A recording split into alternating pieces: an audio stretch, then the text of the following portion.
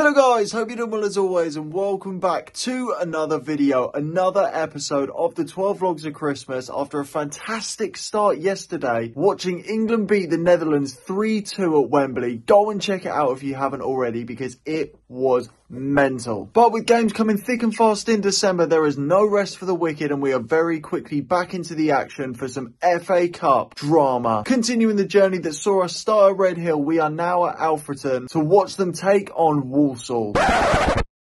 What a load of shite. I can appreciate the fact that, you know, weather plays its part in uh, obviously calling off a football match, but 10 minutes before a game feels a little bit like a joke. However, where there's will, there is a way, and we have managed to find another game. Where are we going? It's Peterborough. Peterborough versus Doncaster in the FA Cup. Now, just a little bit of background on the last games in the FA Cup. They've actually played two, only playing in one round. Peterborough played against Salford in the first round proper of the FA Cup. A 2-2 draw in the first game and a 4-4 draw in the second game, winning 5-4 on penalties. And Doncaster played Accrington Stanley drawing their first game as well and eventually winning their second game. So I'm hoping for goals today, but to be honest, after the day we've had, if it's a nil-nil, I think I might just call it quits on the channel. But for now, I'm going to throw you guys into a montage so you can see our day so far whilst we get ourselves into the stadium.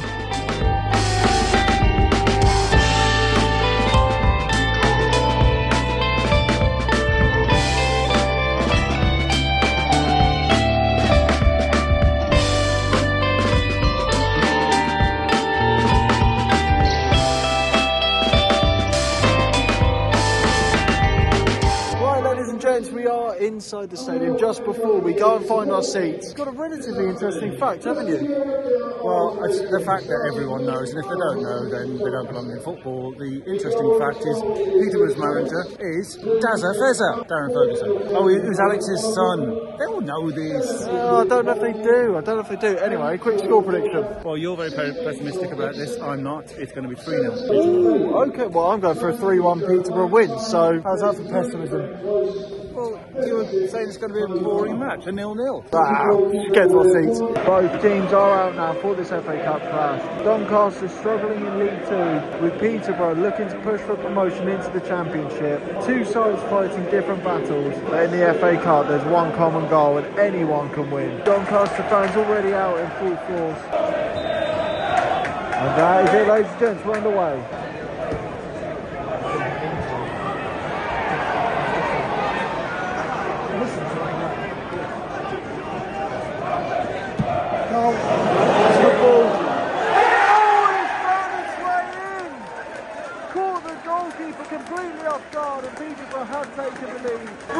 Absolute calamity at the back for Doncaster. The mascot is absolutely loving it. Brilliant goal early on for Peterborough. What a start for them. I've seen Willian do that a few times for Chelsea back in the day where he tries to catch out the keeper. I think he knew what he was doing, but I don't think he truly expected it to find the back of the net. Regardless, 1-0 Peterborough. Oh, it's a good ball. Oh, brilliant save. The forward made it easy for the goalkeeper by hitting it straight at him, but that was a really, really well worked attacking move from Doncaster.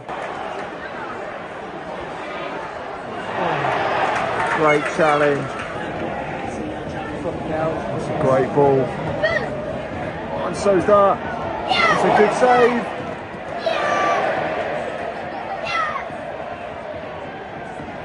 And it's still not quite dealt with. Right, straight to the arms of the goalkeeper. Oh, nearly caught the keeper off guard, but Peterborough with a good chance there to double their lead. Oh, golden opportunity for Peterborough. Another calamity at the back for Doncaster. They really need to iron out these mistakes because it's not looking good for them right now. Make that pass. It's a great ball for Poku. Oh, fantastic save. All credit goes to the keeper there. That is a brilliant save. Half expected Poku to go for power, but he chose placement and the goalkeeper. Brilliant, brilliant save.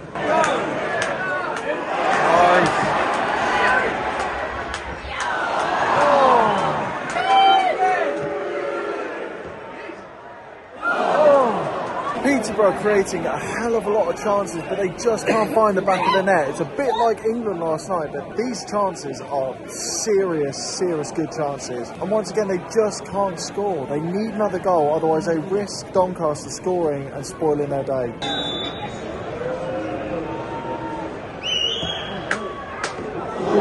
Good Chinese coming.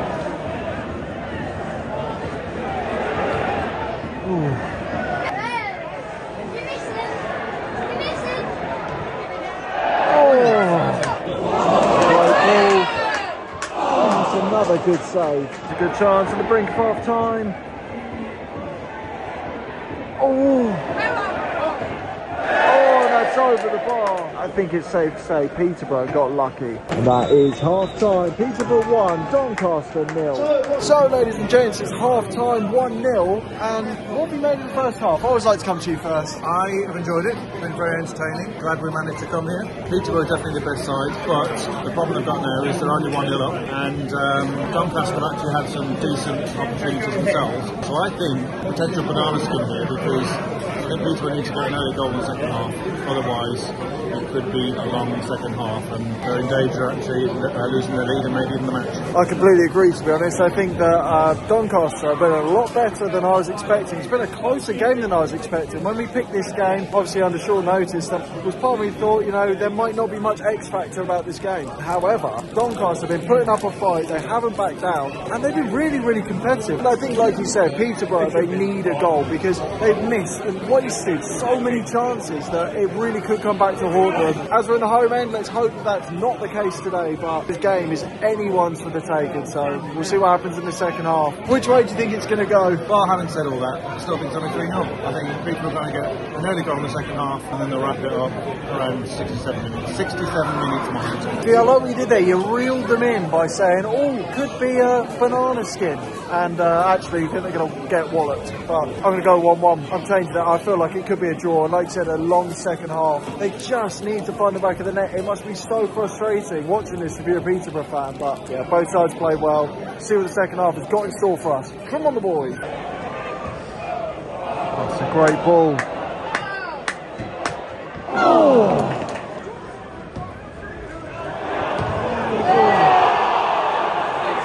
strong shouts for handball, and eventually a Peterborough free kick is given. It'll be interesting to see that one back. In no way, shape, or form was that ever a penalty. I think that's just wishful thinking from the Doncaster fans. Definitely hit his arm, but his hands were next to his body. Nothing he could do about it.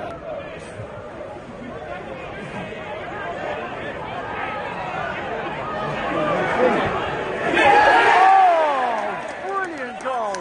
He's been causing problems all game, and Peterborough double their lead, and hopefully that sends through to the next round. If those Doncaster heads don't drop, then there's still a way for them to get back into this game. Uh, I think it's an early goal, second half. Look out, 67 minutes. We know. Fantastic finish. Let's not take anything away from the quality of that strike. Doncaster still have a chance, but Peterborough have made that a lot harder for them now. We saw a brilliant comeback in the 12 Vlogs of Christmas episode yesterday. Are we going to see one today? I'm not so sure, but let's not write Doncaster off. Good touch. Come on. Oh, it's lovely.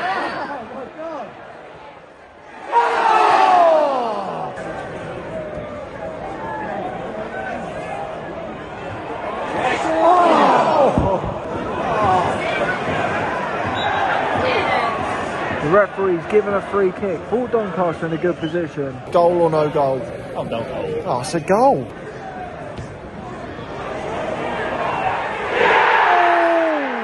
And the flag's up for offside. Potential confidence boost though for the Doncaster players. I think I get that on a technicality. No goal.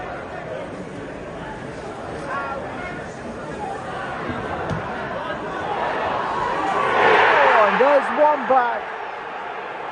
The Doncaster fans certainly appreciate that one. And with 15 minutes left, there's still time for Doncaster to snatch a draw from this, or maybe even a win. Well, to say that it's undeserved, I think, is unfair. Doncaster have been knocking on the door for the entire game, and finally they get their goal. It was going to come at some point, and now a very tense 15 minutes of football for Peterborough fans. And all you can hear right now are those Doncaster fans.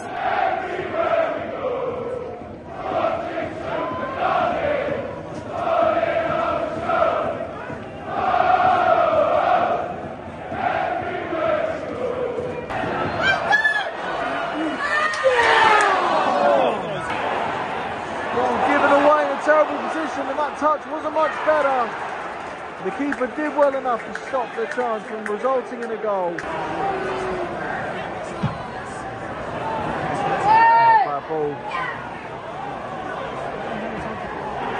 Oh!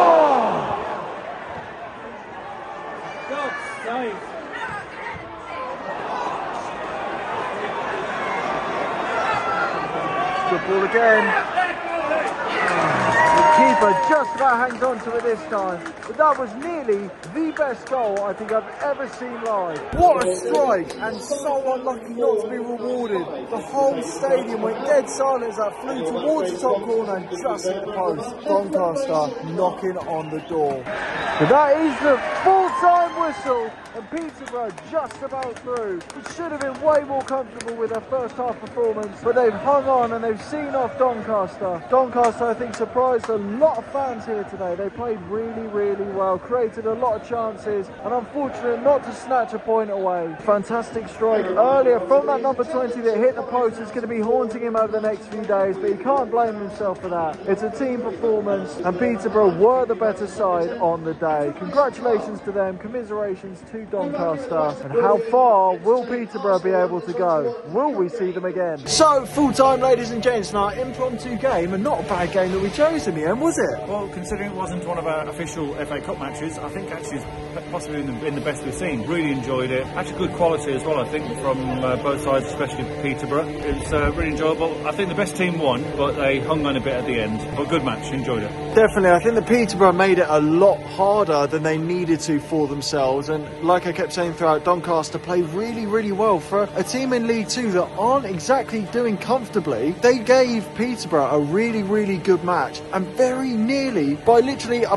post's distance, almost taking it to a replay. So credit to them. And as always, ladies and gentlemen, we love to do our uh, man of the match. Before we say who the man of the match is, I just want to give a special shout out to the Doncaster goalkeeper because he made some fantastic saves throughout. But our man of the match is Mason-Clark. Mason Clark was brilliant, incredibly instrumental in all of the attacks. He got himself a very well-timed finish as well and has earned himself the Football Hipster Man of the Match award. Great game all round and unfortunately we weren't able to see Alfreton but the backup game didn't exactly disappoint so I hope you guys enjoyed. The 12 Vlogs of Christmas is not in jeopardy. Where there's will there's a way and today it didn't disappoint. So thank you so much for watching guys. We will be there for the Alfreton game when that is rescheduled. Take care as always. Thank you so much for watching. Subscribe if you're new. Peace and love.